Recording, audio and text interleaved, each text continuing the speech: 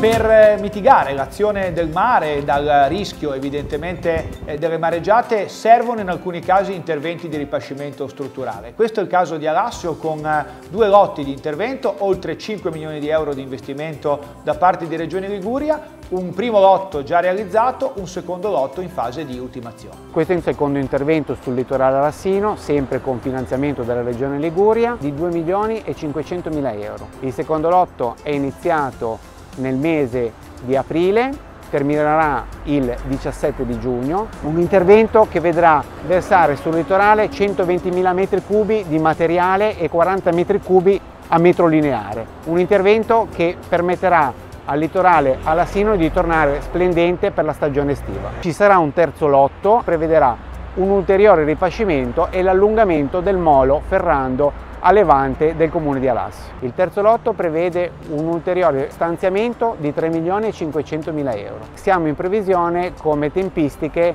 da febbraio 2023